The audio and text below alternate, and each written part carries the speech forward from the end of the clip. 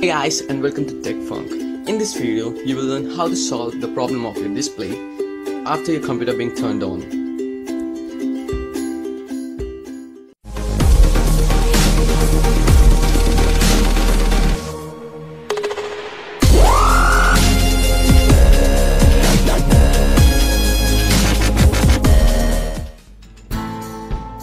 So, let's discuss the 6 reasons why the monitor of your computer doesn't show anything after being your computer being turned on.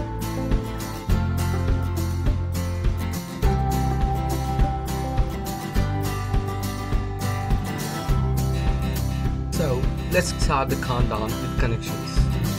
As due to loose connections or fault connections, this might lead to the problem of display.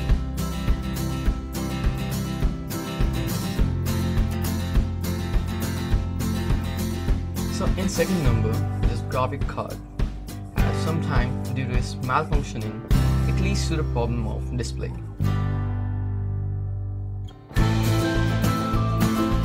In the third number it is RAM and problems related to this have been discussed in the previous video.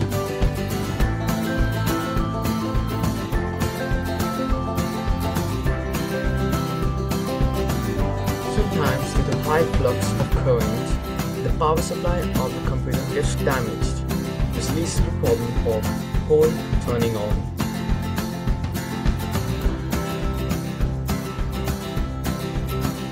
In our fifth number, it is motherboard.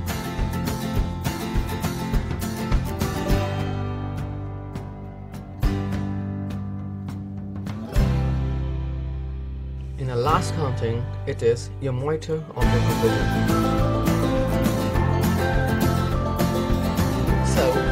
Video. Was useful to you, please like the video. And subscribe to my channel if you haven't